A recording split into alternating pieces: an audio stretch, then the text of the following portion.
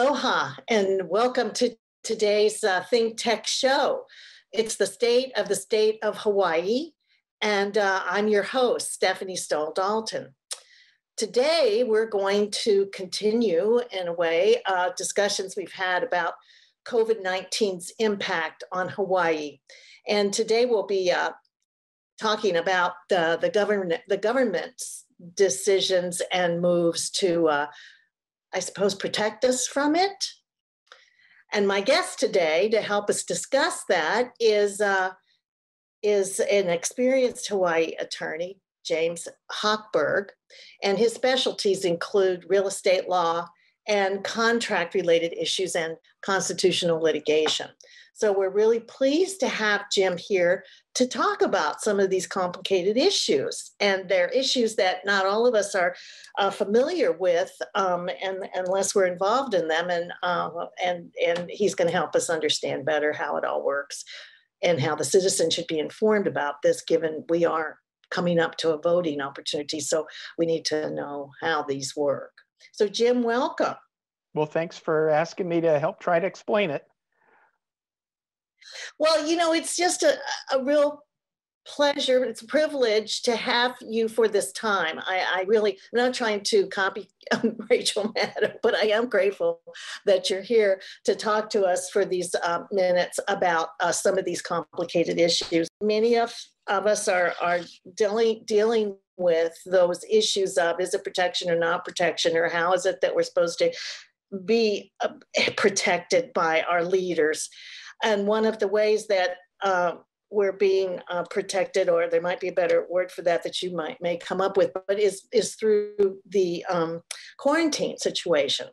So, I mean, I think that at the the fundamental level, the question really is whether quarantine is constitutional. And uh, so, I was going to ask if you could kind of talk to us about what the quarantine is and is it constitutional and uh, whose responsibility is it to to impose impose quarantine? Who who has the right to impose that sort of thing on the citizens of this state, and, and perhaps it's generalizable to other states too. Okay, so and and it's a really complicated question, but I'll try to walk us through both the statute and the constitutional issues. And, and I did file a lawsuit in June with Harmeet Dillon from the Center for American Liberty in California on behalf of um, a bunch of people that live on the mainland but own real estate in Hawaii and had planned and needed to come here in the early, late spring, early summer to maintain their properties. And this quarantine thing became an issue. And because Hawaii had very low levels of infection, very few deaths, and it did not appear that the infections were resulting in hospital stays in Hawaii, different from in places on the mainland. And as we know, even on the mainland, the number of infections has moved around the country at different times, having these so called peaks in Florida or Arizona or whatever.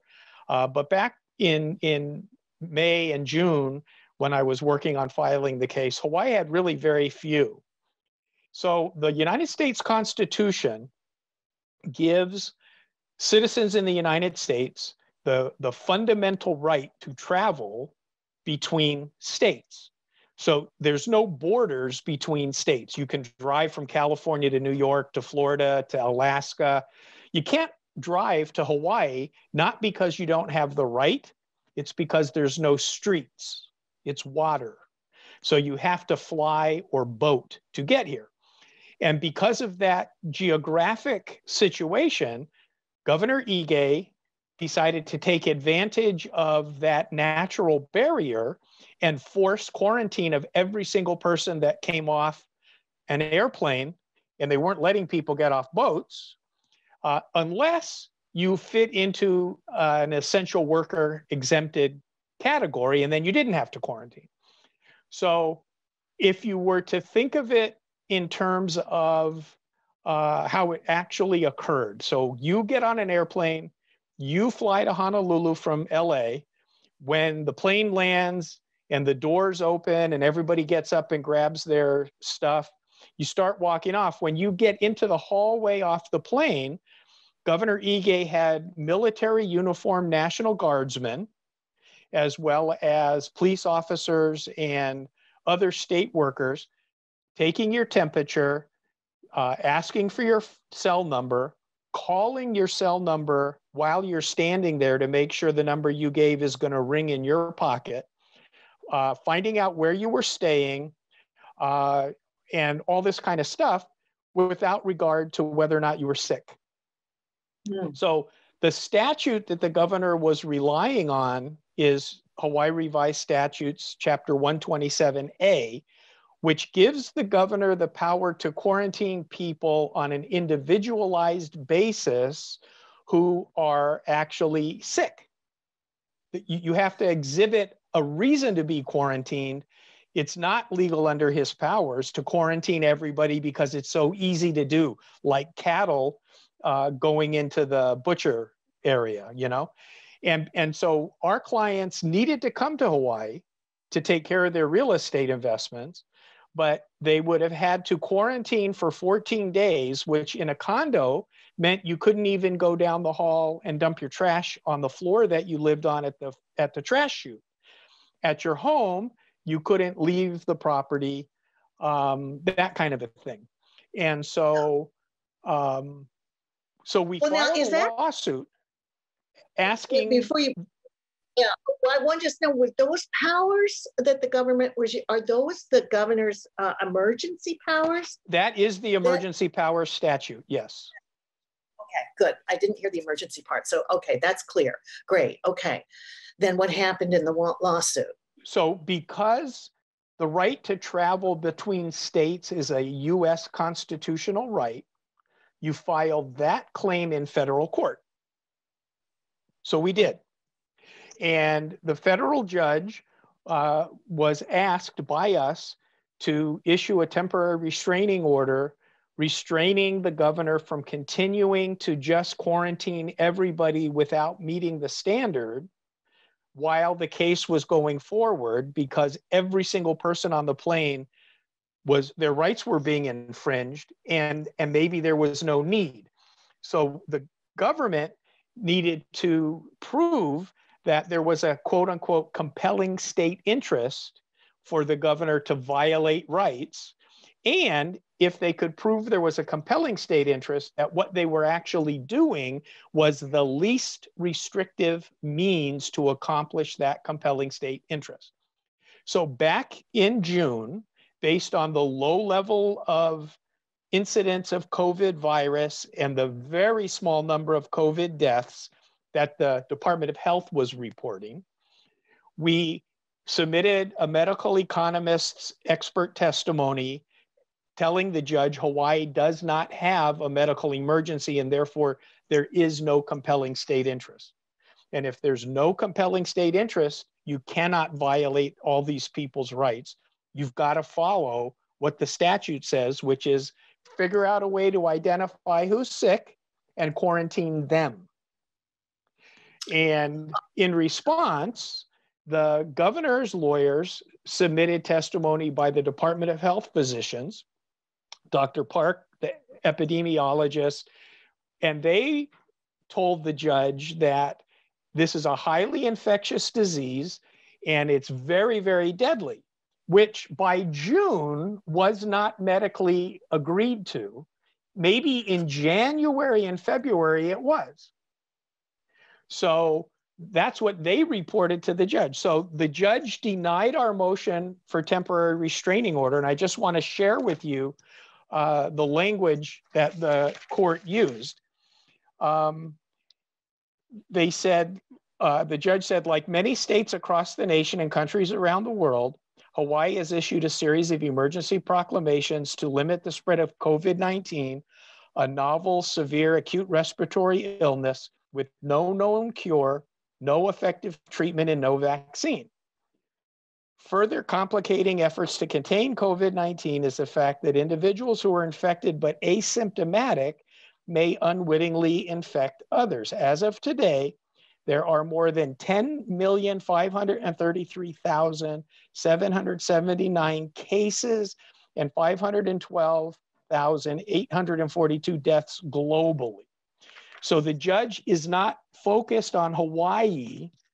She took the big global approach to get over the question of is there a compelling state interest in Hawaii for people getting off the plane in Hawaii? Mm-hmm. And then she took the position that um, Justice uh, John Roberts on the US Supreme Court took uh, shortly before and in a case called South Bay United Pentecostal Church versus Newsom, California church case challenging Governor Newsom of California's ability to treat churches different than other public gatherings. And all Judge Robert, Justice Roberts had his own what's called concurring opinion. Nobody else joined in his opinion, but he agreed with the outcome of four other justices. So, in his opinion, he said federal judges should not substitute their opinion on medically uh, divergent opinions that locally elected political leaders hold in the COVID situation. So, our federal judge said, I kind of like that I'm not going to second guess Governor Ige. But she didn't even look at Governor Ige's numbers. She looked at global numbers. So it's a little hard to pin down where the judge was really coming from. So she denied our motion for temporary restraining order. And that meant that it, we, we were going to have to do extensive discovery and things to build a record to appeal. We didn't think she was going to deny the motion. So mm-hmm. she did. And so in the end result, the clients decided to just leave, sell their properties, get out of this whole thing. So they actually sold their properties in Hawaii and, and we didn't even have claims. So we dismissed the case. Uh, that was the right to travel case in federal court. Mm-hmm. Well, the, you know, this, oh, yeah. So there are many questions to follow that up, but one one of them that brings us right back to our Hawaii situation is if that is what can be done here, in other words, that the governor can have an emergency order and the particular Hawaii circumstances can be uh, uh, you neglected. Ignored. Ignored, actually, correct. Yeah board. Um, and then the, then that gets us out of our own status. I mean, that really is in a way a disservice because it, you know, our issues are not important enough to register in in comparison. Well, you know, it's, it's kind of interesting. Today being the day that uh, Judge Barrett became Justice Barrett a few, out, yeah. maybe an hour ago, and that whole discussion was philosophy of judging do you want your judges to maintain precedent and, and apply the law to the facts of the case, or do you want them to re legislate because the legislature didn't make a law they like? So, in our federal case, the judge actually said, I'm not going to uh, get into the middle of the state government's dispute about COVID. I'm going to deny your motion. That is kind of a conservative judge approach to the case, although a real conservative judge would have focused on the Hawaii statistics to make the state explain and prove that there's actually a compelling state interest. And under cross examination, with depositions and all kinds of things going down the case, we would have been able to have her doctors or have uh, Governor Ige's doctors admit that the information they were using was from months and months and months prior to when they submitted it. Um, but anyway, so so that was one of the two cases. You have to sue in federal court for federal legal rights. If you want to sue on state legal rights, you don't really want to use federal court because the federal judge will likely say you should let your courts decide your state law. so I, working with the same mainland law firm with Harmeet Dillon, we filed a state court case where we were asking the state judge to read the text of the emergency law because what it says is that the governor or the mayor can issue an emergency declaration, a proclamation of state of emergency, and it's their their opinion. You can't second guess them. But after the 60th day, or actually on the 60th day, that uh, after the proclamation declaring the state of emergency was declared, the state of emergency itself automatically terminates. And so in, in this case in Hawaii, March 4th was the day Governor Ige issued his COVID-19 proclamation of the state of emergency. So that meant that on May 3rd, his 60 days were up. And my clients got cited in July. So that was when there should have been no more emergency powers under the actual emergency power statute. So we sued, asking the state judge to read that section and rule that everything after May 3rd was unlawful because the powers had ended. And, yeah.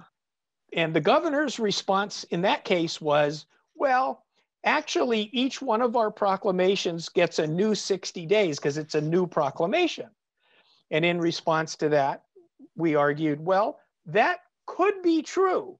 But when we read each one of the 15 supplementary proclamations, not one of them said this is a new proclamation. Every one of them said we're starting on March 4th and we're going to recite every single supplementary proclamation and until we get to this new new one and we're going to add to the old one. And mm-hmm. and so we pointed out to the judge if they had said this is a new proclamation and it's good for 60 days they never did that. So they're they're not actually telling the truth.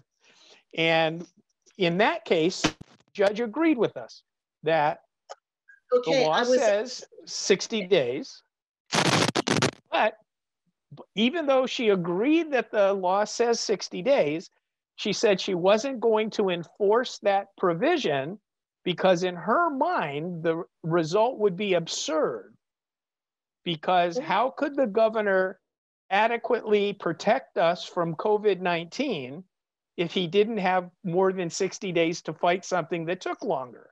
And I explained to the judge, Judge, when that on, on July 1st was the hearing in the federal court case.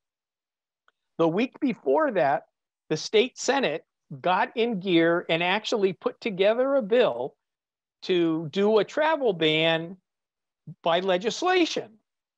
So they they could they showed they can do this, and that on July 1st, when the judge denied our motion in that federal case, we had the Fourth of July weekend, came back on Monday, the House of Representatives refused to consider the bill because they didn't need it.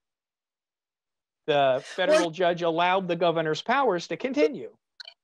That, that that they shirked their responsibility, and uh, and that the the governor didn't impose that duty on them at that sixty day mark. So it looks like they didn't pick it up where they should have and weren't even um, encouraged to do that. So, I mean, that's the other side of the strength of your case in that the 60 days was it and then there was no follow-up and no no effort to to do what should have been done by the legislature because isn't that the opportunity for them to kick in and put it into law and then that's also the opportunity to not do it based on the circumstances having changed if they have. Well, and, and so you would ask, well, why does it really matter? You know, whether the legislature makes it or the governor makes it. And here's why it matters. In the state of Hawaii, we have very few rights as citizens. We have the right to vote for people. Every 10 years, we have the right to uh, vote on whether we want a constitutional convention or not. But we can't on the state level do what a lot of people in other states can do. They can recall elected officials, they can put uh, ballot measures to create statutes on the ballot, they can put ballot mm-hmm. measures to, to cancel statutes that they don't like if the if the government won't do it in the normal course of legislating. So we don't have very many powers. One of them that we do have is to elect these dang legislators. And we elect the governor. But the governor represents everybody. So he's not very responsive to any citizen by themselves. whereas our House members are 25,000 people in a House district. Senators have maybe three House districts. So numerically, a senator and a House member would listen to me more likely than the governor would, theoretically. That's and so so our constitution gives the lawmaking power to the legislature, not the governor. The Emergency Powers Act gives the governor the legislative lawmaking power for 60 days. And if he's going to continue doing it after 60 days, we lost our vote. We did. That's such a good point. Well, I think too, on something that's closer, not necessarily closer to home, but I was using that just to say it's more specific to Hawaii um, and would have consequences. For instance, the uh, governor stopped evictions. So he used that, uh, those emergency powers to, to cancel eviction options. And but that left all of the owners of property with their mortgage uh, uh, duties. And uh, so what what what can be done for them? In other words, can the do the state the banks automatically? They're not going to do anything automatically. Is there not then necessary uh, moves after that to prohibit the banks from requiring a regular mortgage payment or something in parallel? So, so, so let me put it into perspective. You want to buy a house, you go to the bank and get a mortgage loan. You get the title to the house subject to the mortgage loan. If you're not going to live in the house, you might rent it to another family and they're going to pay you rent and you're going to use the rent to pay the mortgage. And that's lovely. Now, the Constitution does not permit the government to pass a law interfering in your contract. However, and you have two contracts you have one with your tenant and one with your bank. But because of this COVID emergency thing, which is a huge boogeyman to public policymakers, because, and this is my own opinion, not one of them have told me they believe this is true, but it looks like to me they don't want to make a bad decision because they got to run for office again. Governor Ige can't run for governor anymore. He's done. He might be able to run for Congress or something, and they're letting him put this all on his shoulder so that all those House and Senate members don't have, they don't get tarred with COVID bad stuff. So the federal government, in I think it's in the CARES Act, and the state of Hawaii in the COVID 19 emergency proclamations have put a moratorium on evicting residential tenants. Doesn't apply to commercial property. So the problem that you have is like you said, the landlord doesn't get paid. And if the landlord doesn't get paid and doesn't have other money to pay his mortgage, he's getting squeezed. So the question is where is the legislature? Why aren't they coming in and saying something? And if they wanted to put a number of months of a limit, or if they wanted to prohibit lenders from foreclosing, or if they wanted to say if a homeowner wants to sell the house, he can evict it. You can't even sell your home with a tenant in it that you can't evict. Oh, so there are true. things that the legislature could do. They're being completely mum because I think they don't want to individually be tarred in the next, next election with having made a choice that turned out to be a bad one. So that puts our question to be that is uh, is public health or, or political influence um, the uh, driving um, force uh, of of these decisions? And the so and let me let me let me answer it this way. um, there was a uh, a de- not not really a debate. It was a you know that Insights Hawaii show that's on PBN? Uh-huh. It's it's not uh-huh. really a debate, it's kind of a discussion. And I was watching that with Josh Green, the lieutenant governor who's a physician, Dr. Yes. Park, who at the time was the Department of Health's epidemiologist, uh, a guy that owns a bunch of McDonald's, uh, and I think Daryl Huff was the moderator. And so this was way before I filed my lawsuit. And Dr. Park said some things that were kind of they didn't ring true to me. So I called her office, left a message. She actually called me back the next week because the show's on the weekend. Mm-hmm. And when she called me back, I, I said, you know, um, you you guys are publishing these statistics about the COVID positive results on the testing um, and the and the deaths, but you're not really telling us info that we need. Could you please get the Department of Health to publish? Okay, we have these many positive test results, but these many people had no symptoms. These many people had symptoms, but they weren't really sick. These many people were sick, like they stayed home, but they didn't go to the doctor. These many went to the doctor. These many actually had to go to the hospital. These many were actually in intensive care. These many recovered. And her response was, "Oh, that would be way too hard to collect that kind of data." And I and I said, "Dr. Park, it, it should be easy to collect the data. You're the state of Hawaii." And and her response to me, honest to God, was, "Well, now you're getting aggressive. I'm hanging up." And she hung up. Now, is she appointed by the governor? She is a Department of Health. Well, she's no longer there. She resigned with uh, the other health director, Anderson. They left at the same time within the last month or two. Having to do somewhat with the contract, uh, contact tracing. Yeah, yeah, yeah, something like that. But but for her to not want to have that conversation told me it doesn't sound medical. No, I mean, I, there, there should have been some discussion of lack of resources or, or something that, that uh, would have justified, I mean, but nothing justifies rude. That was rude. And you're asking a, a very important question on behalf you know, of the citizens. And that, that is an excellent question. And we should, we should know all of that.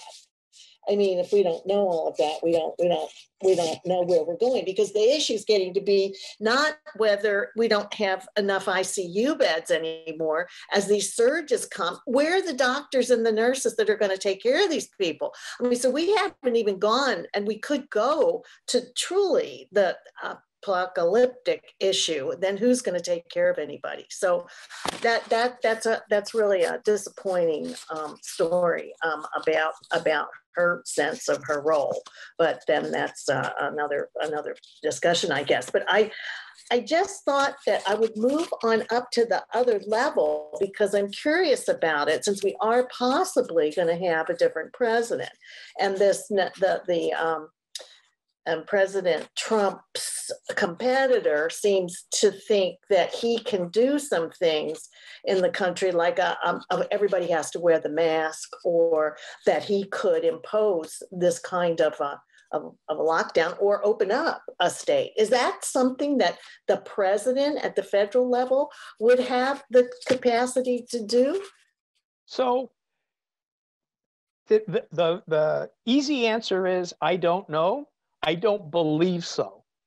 The, the system of government that we have is called federalism. And the yeah. states are sovereign, and the federal government is sovereign. And the sovereign states are run by governors, and they run their own states. And if you remember at the beginning of COVID, President Trump wanted to do something as a mandate. It wasn't a mask mandate, but it was something. And all of his opponents were screaming, You're, you can't do that. The governors run their states. And I think that's probably true. Now, that doesn't mean that the president couldn't issue an order, and for all the people that follow it, it's a perfectly enforced order. And for the ones that don't, a judge somewhere is going to have to decide. And then the question becomes what kind of a judge do you get? Do you get a judge that likes to legislate, or do you get a judge that likes to apply the Constitution as written? And so I can't answer the question uh, as much as I wish I could, but I'm pretty sure under the federalism system, the governors would have the right to refuse. Well, that do you see that as possibly getting tested going forward? Uh, well, given we're surging and uh, Hawaii seems to be hanging in there um, steady as she goes. But um, do you see that being tested going forward? So, so I do, I do, and and I I see it being tested because, first of all, the the old, old Supreme Court case from the Spanish flu, like in, around the First World War, had a, it's the Jacobson case. And that case was asking whether uh, the government can compel things with this Spanish flu thing, whether they can fine you if you won't do what they want you to do. Mm-hmm. And the court in 20 or in 1915 or 11, I'm not sure exactly when it was, the Jacobson court out of the US Supreme Court said in a pandemic, the government can punish you if you don't comply with their orders that are based on medical need. The, the federal government can. It can be a federal crime. That was actually in, in the state of California, I believe. I, I'm not exactly sure, but hmm. it, but here's the interesting thing. In 20 in 1911, we had only had access to anesthesia for decades. Anesthesia came about around the Civil War. Yeah. In the 1860s. So 70s, 80s, 90s, the 1900s, and 1910s. Medicine was so barbarically uh, unsophisticated then compared to now that I, I don't believe the Jacobson case should carry that much weight scientifically. Uh, but the and be, and related to that is the ability for us to differentiate between the danger of COVID for different segments of society, I think would convince a judge uh, not to allow a mandate of a vaccine or a mandate of a mask, because again, is there a compelling state interest? And is the demand the least restrictive means to accomplish that compelling state interest? And making everybody take a vaccination seems way more than necessary to accomplish a compelling state interest of keeping people healthy, especially if you don't want to have the vac. There's anti vax folks around that they study the science and they've got reasons for not wanting any kind of vaccination for you know blah blah blah that's their position. Well you know we're we're going to have to wrap it up uh, after this stimulating discussion. And i uh, so appreciate your being here to talk about it at this uh, level and, and clearly and, and giving us all a better understanding of these uh, constitutional issues and these laws and the roles of our leaders. And um, this is the State of the State of Hawaii show, and it's on Think Tech Live. And uh, we appreciate that uh, Jim Hochberg could be here with us. And I'll see you again in two weeks um, for this program, The State of the State of Hawaii. So mahalo for being our audience, and uh, aloha, everybody. Thank you.